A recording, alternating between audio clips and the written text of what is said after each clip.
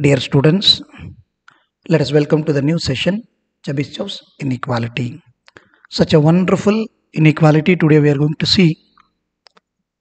We need Chebyshev's inequality because it provides a very powerful tool for understanding and quantifying uncertainty in various scenarios where the detailed knowledge of probability distributions might be lacking. For example, um, if you know the discrete distributions, it might be follow binomial or it might be follow Poisson.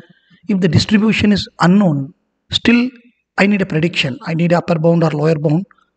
If my data is not proper or it is not clear, in such situation, I cannot go and depend on any distribution where the one and only powerful tool people always run for Chebyshev's inequality. And if the data might be lacking or impractical, here is the way we use Chebyshev's inequality for the help. When you see the application point of view, people use in quality control, risk management, data analytics, queuing theory, machine learning, signal processing, etc. etc. etc. Okay, so we always concentrate on uh, the exam point of view. Let us go into the Chebyshev's inequality, what it is. Okay, guys. So we'll see.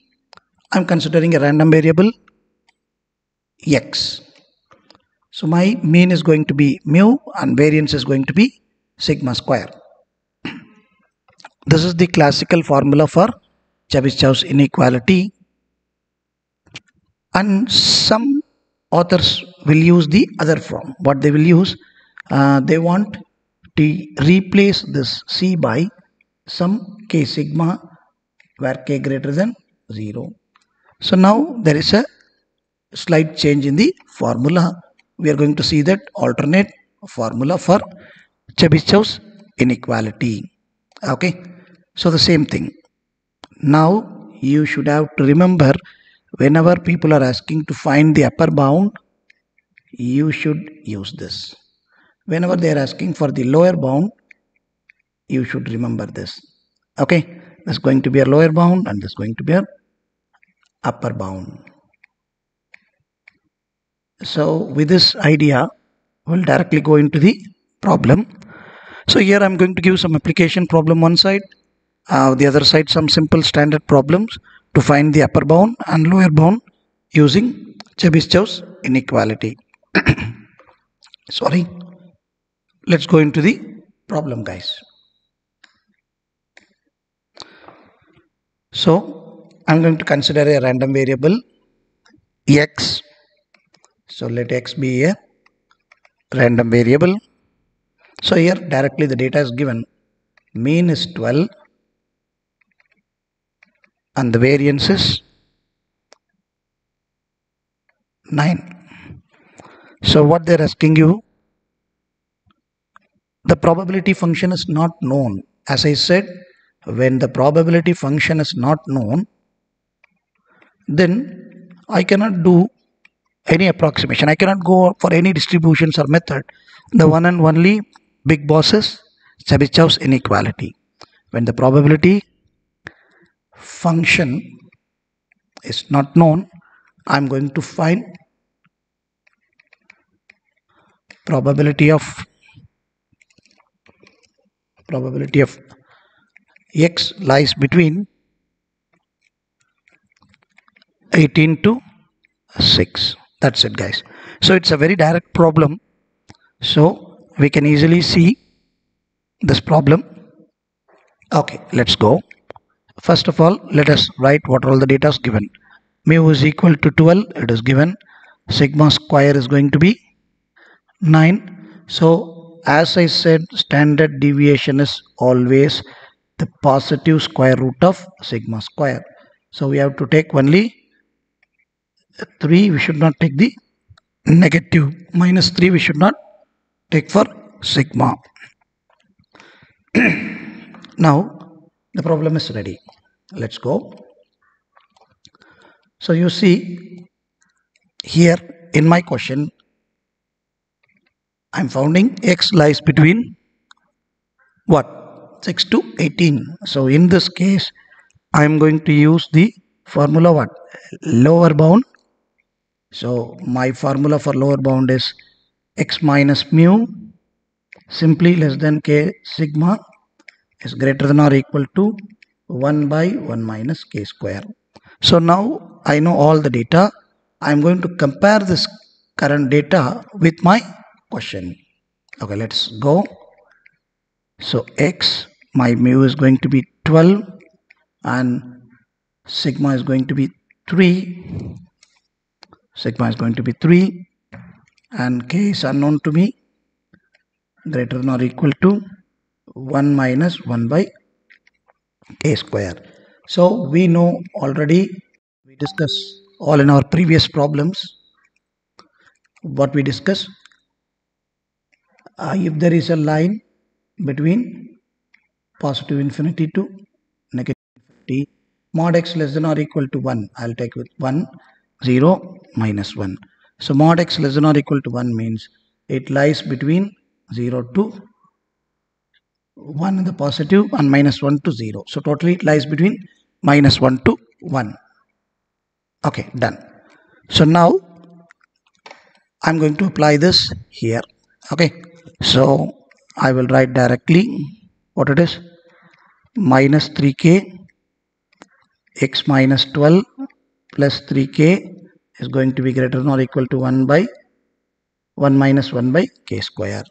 So I don't need the 12. I want x because my question is very clear uh, 6 to 18. So I'm going to add 12 on the inequality. So it's going to be 12 minus 3 sorry 12 minus 3k the one side then we will be having capital X and 3k plus 12 guys. So 1 minus. So now just a comparison. It's simple. I want to find probability of X lies between 6 to 18 now I have to compare this data okay? Either I have to compare this with 18 or I have to compare this with 6 so both are same. Okay. So now what I'm going to do I can take the positive side. I'm going to compare it. So 3k plus 12 I can say it as 18 so 3k is equal to 6 and k is equal to 1 by 2 finally I found this. K is equal to 1 by 2 so now what I will do if I substitute k equal to 1 by 2 here automatically what I will get guys? I'll be getting eh, sorry the k is going to be yeah a small typo k is going to be 2 yeah thank you. So k is going to be 2 here okay. So now I'm going to substitute this k value here. So when I substitute here what would I get? 12 minus 2 3s of 6 it's going to be 6 and then when I substitute the other side I'm going to get 18 so my solution is going to be 1 minus 1 by 2 square. Is it clear guys? So this is what I have to found. This is my achievement. Like now I found the bound. 6 less than x less than 18 uh, when I simplify I'll be getting 3 by 4 so what I say the probability of x lies between 6 to 18 is what? 6 to 18 is going to be minimum 75% because it's greater than or equal to 3 by 4 so it has a good bound. So I can proceed further. Hope you understand. Okay let's go into the next problem. So uh, the previous problem is very very direct problem. So now let us go into a different problem and we try to attack. So x is here random variable. Now for this problem actually uh, we need to know what is mean by binomial theorem all these things.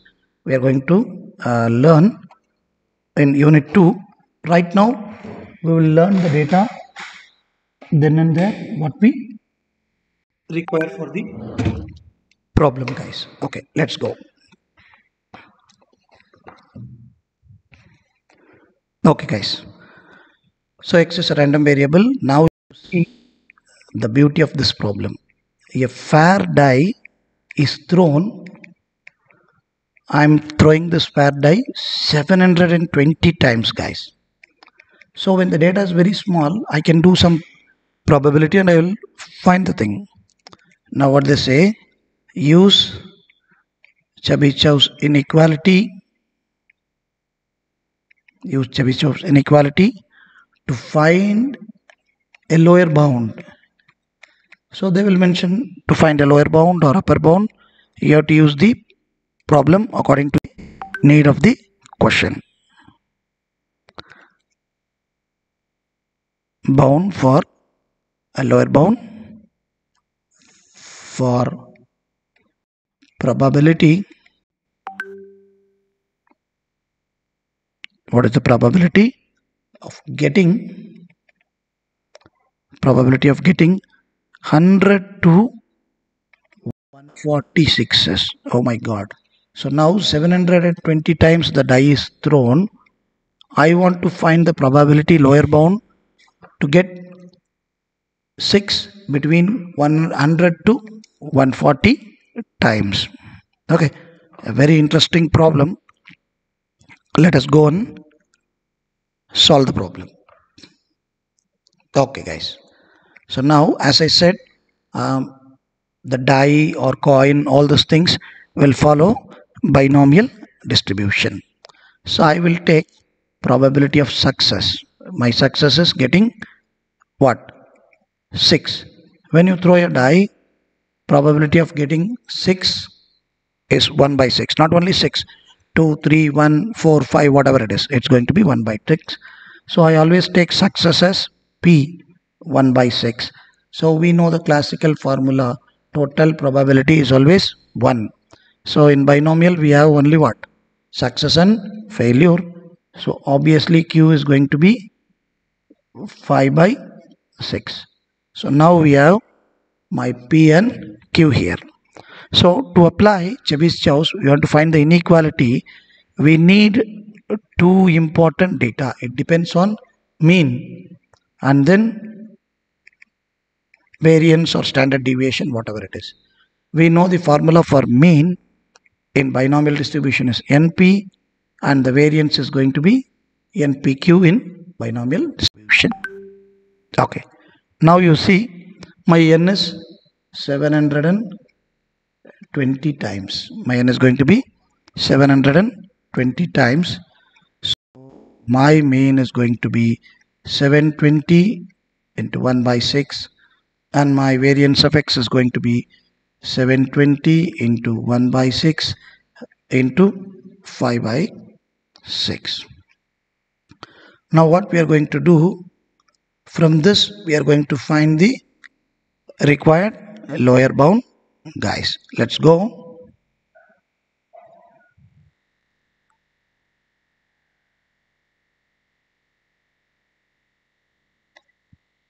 Yeah just a second.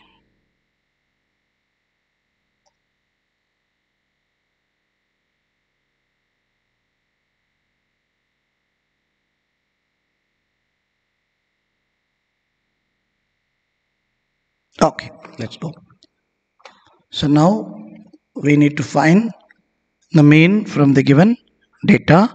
So mean is going to be very easy. Use your calculator. I said mean is i insisted many times. Don't waste your time by doing manual calculation. Mu and sigma is going to be sigma square is 100 and standard deviation is always positive. So my sigma is going to be 10 okay. That's it guys now let us go into the problem. Okay so what we have to do now i want to find the lower bound. I'll clearly said so lower bound means it'll be getting like this. Upper bound means it'll be getting like this. Okay you just remember it's a trick. So now I want to find the lower bound. So probability of x minus mu less than c so you see here in the previous problem I use k sigma formula. Here I'm using c. It doesn't matter. Just for your reference I'm using two different formulas nothing else. So 1 minus sigma square by c square. So whatever you use it's going to be correct. Nothing wrong in it. So now we know that mu is 120 now uh, after this problem is nothing because we fixed all the data 1 minus 10 by. So sigma square is 100 so it will be 100 by c square. So as usual I will write minus c x minus 120 and c. So greater than or equal to 100 by c square. So now as usual I want to get x because I need a lower bound. Okay so if I add minus 120 on both sides so 120 minus c x c plus 120 it's going to be 1 minus 100 by c square. That's it guys. Now you can easily manipulate the data. Because what is given? Out of 720 times what is the probability like the lower bound to get 100 to 146s so now I want to get yes exactly. I want to get 100 here and I want to get 140 here. Sorry. So now what I will do in this case I just want to match the data. Okay. So either you take the left one or the right one. I am taking this 120 minus C. I am going to match with 100 so 120 minus 100 is going to be my C. So my C is going to be 20. Now the problem over. I found the C. So when I apply C is equal to, yes, 20 here, it's going to be obviously 100 less than X. When I apply 20, I will be getting 140 greater than or equal to 100 by 20 square. Okay, so when you simplify, you'll be getting 1 minus 100 by 400 so it's going to be 3 by 4 so you see now we found the approximation like getting 100 to 146s as a lower bound. So there is a chance of 75% that's it guys hope now you got a clear idea about the Chebyshev's inequality. Let's go into the next problem. So what we can do, we can go for a different problem because we are dealing with what? Lower bound. Let us go and deal some upper bound. Now, it now it is a discrete random variable. It's clearly given a discrete random variable takes the value minus 1, 0 and 1 and there probabilities are what?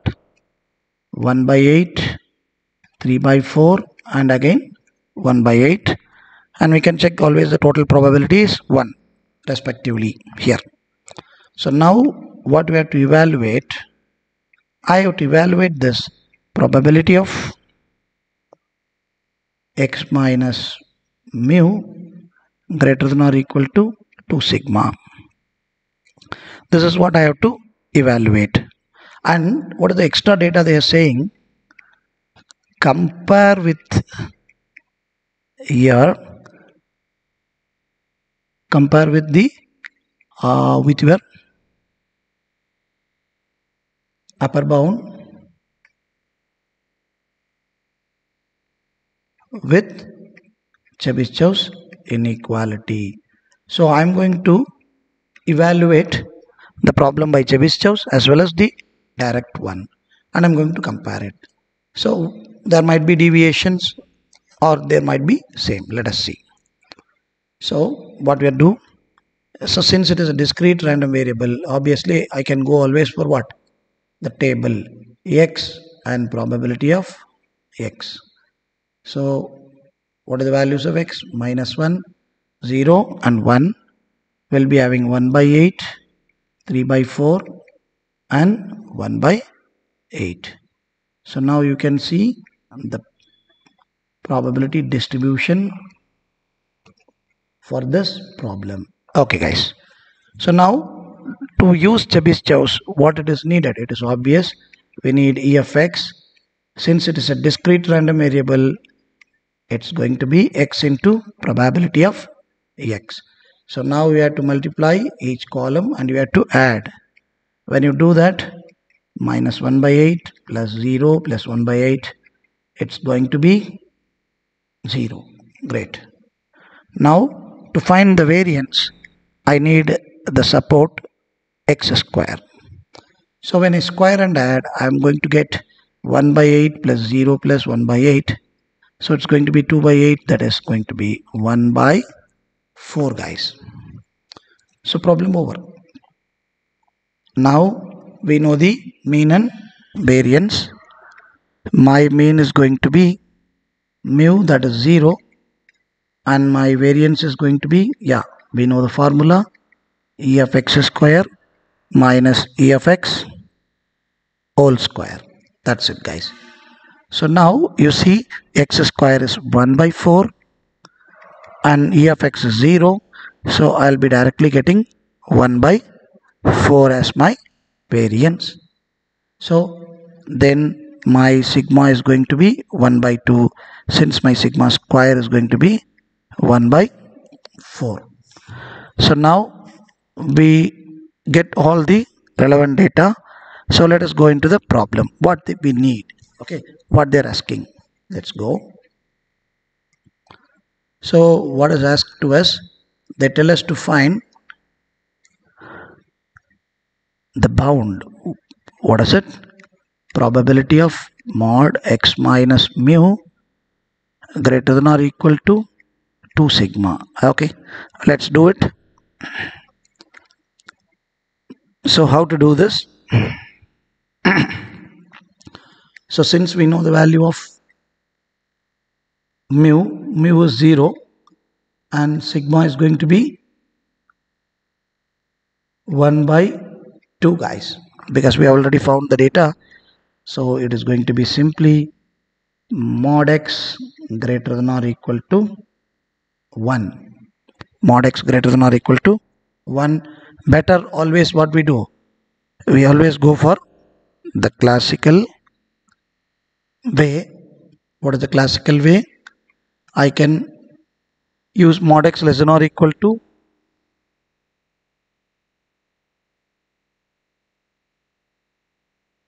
now you see? Let us write the formula. So mod x less than 1 means I can write x lies between 1 to 1 okay. If it is less than or equal to 1 I can write like this.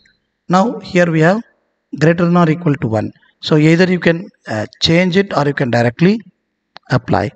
So if it is mod x greater than or equal to 1 means 0 1 minus 1 so it is including this area 1 and above minus 1 and below.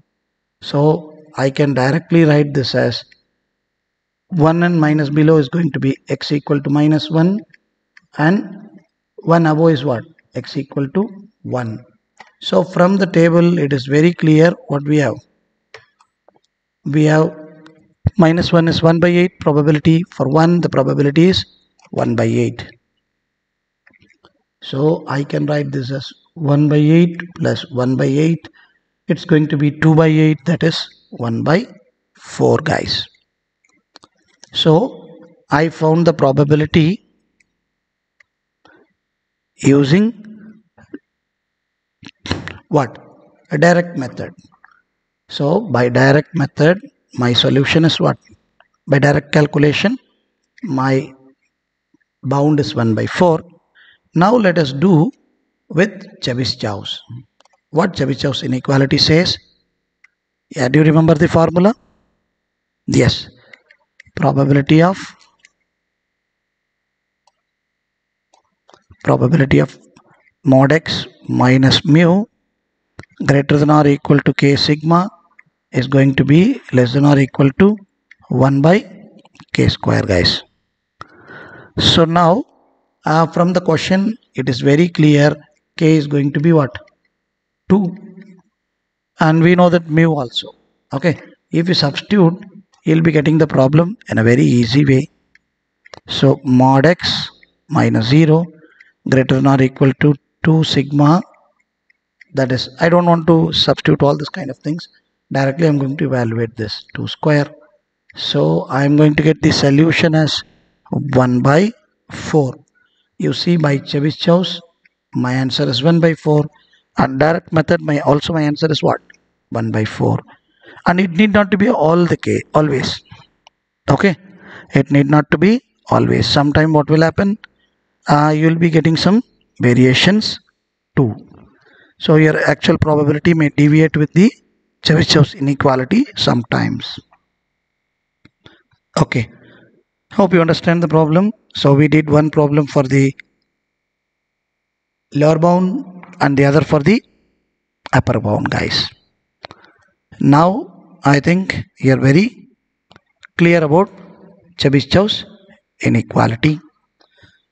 So there is other problem. It's also very interesting. Might be yeah I'll do the other problem also. Let us see. What they're saying x denote the sum of numbers obtained when two dice are thrown. It's a very interesting problem. When two dice are thrown I'm going to sum it. When two dice like two dice are thrown I'm going to sum it. And and obtain we are going to obtain the upper bound. So they are going to tell you like they're telling to find the upper bound when probability of x minus 7 mod x minus 7 greater than or equal to 3 and they are telling you to compare with the exact probability. That's great. Okay. So what I will do I will leave this problem for your practice guys. Okay. So I cannot solve all the problems here.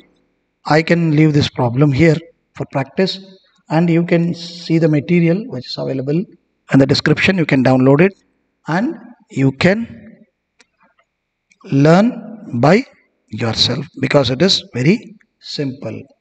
So we end the session successfully for the problem solving idea for Chebyshev's inequality thank you for your patience and watching the video. Till then thank you again guys. See you in the next video. Bye bye